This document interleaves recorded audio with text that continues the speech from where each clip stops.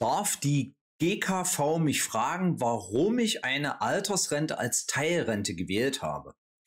Mein Name ist Peter Knöppel, ich bin Rechtsanwalt und Rentenberater von Rentenbescheid24.de.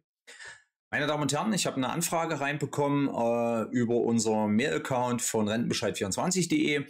Die lautet äh, ganz einfach, darf die GKV fragen, warum man Teilrente gewählt hat? Fragezeichen. Ja, meine Damen und Herren, ähm, das ist eigentlich eine relativ eindeutige Geschichte. Selbstverständlich darf die GKV nicht fragen, warum sie die Teilrente gewählt haben als Altersrente. Es geht die GKV schlicht und ergreifend nichts an. Warum ist das so? Wenn jemand eine Altersrente als Teilrente wählt, also nicht sich die Rente nicht zu 100 Prozent auszahlen lässt, sondern sagt, okay, ich äh, lasse mir zu 90 Prozent nur auszahlen, dann liegt in der Wahl der Teilrente grundsätzlich kein Verzicht nach 46 SGB I. Denn nur bei einem Verzicht könnte die oder kann die GKV fragen, warum man das gemacht hat, denn der Verzicht wirkt sich möglicherweise zu Lasten der GKV aus. In dem Fall hier ist es relativ eindeutig oder für mich zumindest klar, unser Versicherter oder Versicherte möchte sich ihre Krankengeldansprüche erhalten wenn sie weiterarbeitet. Ja, das könnte zum Beispiel ein Grund sein, warum sie die Teilrente gewählt hat.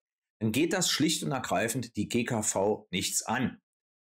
So einfach ist das. Denn, nochmal, die Wahl, also die Auswahl, dass ich meine Rente als Teilrente bewilligt haben oder ausgezahlt bekommen möchte, ist ein Wahlrecht, was auch zu Lasten anderer Sozialleistungsträger gehen kann.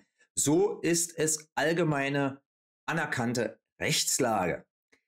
So, damit habe ich die Frage beantwortet. Also, meine Damen und Herren, wer kann und wer das möchte, kann gerne eine Teilrente als Altersrente wählen. Bei einer Erwerbsminderungsrente kann ich das nicht machen, denn eine, äh, denn eine Teilrente kann ich grundsätzlich nur bei einer Altersrente als Wahlrecht haben, als äh, die Auszahlung als Teilrente als Wahlrecht ausüben. Bei einer EM-Rente geht das nicht.